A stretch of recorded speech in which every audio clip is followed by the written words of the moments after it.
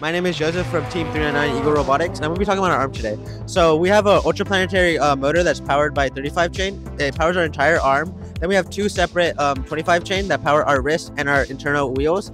Um, we have none of our motors uh, actually on our scoring mechanism, just so we don't have a lot of mass towards the top of our robot when we're going into scoring positions.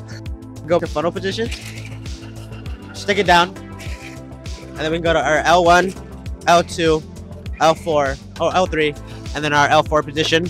that we can uh, score from there. And then we also have um, uh, our algae mechanism, so we can go to uh, dealgae. Oh, de- dealgae. And then we can go to processor. And then we can also go to barge. And then we can score from there. And that's our arm. AndyMark provides superior service with the reliability that teams expect. From mechanical and electrical products to tools and hardware, head on over to AndyMark.com for your one stop shop of high quality and affordable solutions.